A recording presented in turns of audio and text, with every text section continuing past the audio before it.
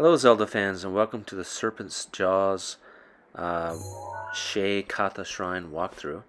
So the actual shrine is up there in that region that's flashing, but we're going to go over here first um, so we can get the um, so we can get a scale from one of these flying serpent guys. I think his name is Farosh. Okay, so uh, he's not there at the moment. We can go back to uh, sit down by the fire and make it morning.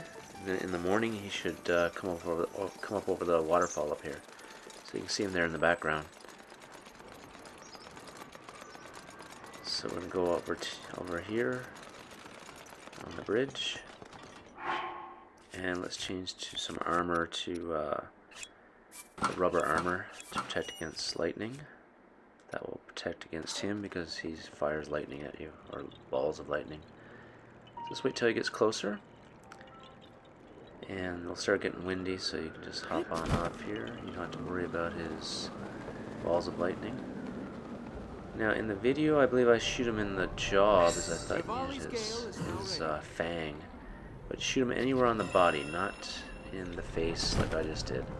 Shoot him in the body so you get a scale. Okay. And just keep floating so you can until you see where it drops, and drop down and get it. It's easier to see it if you're airborne. So let's get uh, pick up out of the water here. Okay, and then we'll, we're going to go warp over to where the shrine actually is. So it's over here. Now you can walk up through the deep woods, but it's better to go on the left here where I'm putting the markers. There's a lot of Koroks and very few enemies. If you go through the thick jungle, there's lots of enemies. Some of them are pretty tough. But it's better to go off on the side on the left. Okay, so there's a lot of Koroks along the way, maybe even four or five. Uh, so this, in this next part of the video, you can watch me get the Koroks, or just skip ahead to where the shrine is.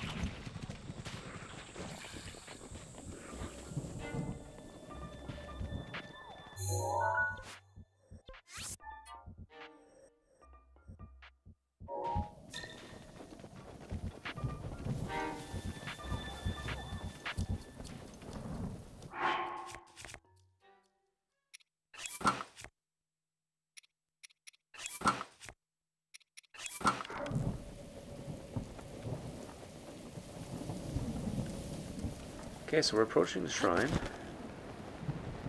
See it there glowing in the background. Uh, there is a Korok on that tree. If you want, you can watch my end of my video to see how to get that Korok. Talk to the statue. The statue will tell you that you need Farosh's scale. And so let's get that from the inventory. And yeah, it's here somewhere. And hold it, and then if you drop it here, it doesn't work. You always have to drop these in the water front of the shrines. So let's drop it in the water, and it works, and it opens up the shrine behind the statue.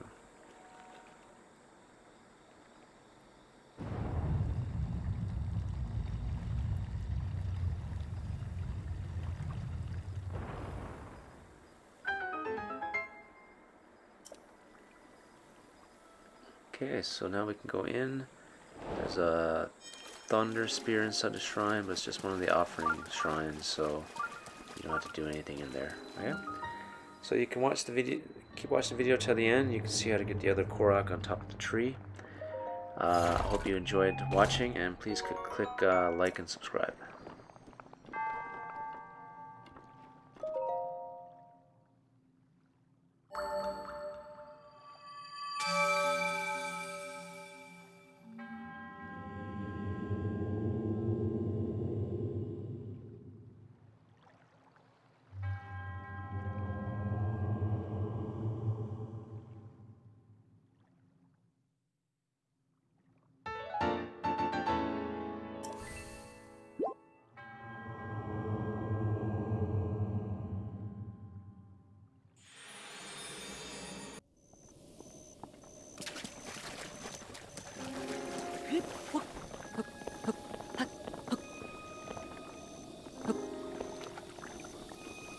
Hup.